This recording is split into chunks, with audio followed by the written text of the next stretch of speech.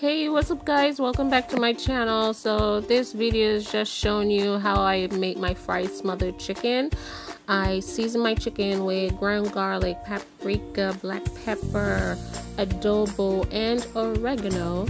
And then I coat that in some Pillsbury all-purpose flour. I then add in my oil in the pan, my Mazola corn oil that I use, and fry up my chicken all nice golden brown and juicy.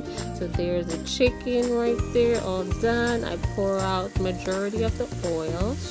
Then I add in a little bit of flour and warm with warm mixed up with warm water and that basically what that does is thicken up the sauce a bit so I then add in my onions and garlic which gives it so much flavor oh my god and so if you guys enjoy this video please like subscribe don't forget to share and I will see you guys in my next video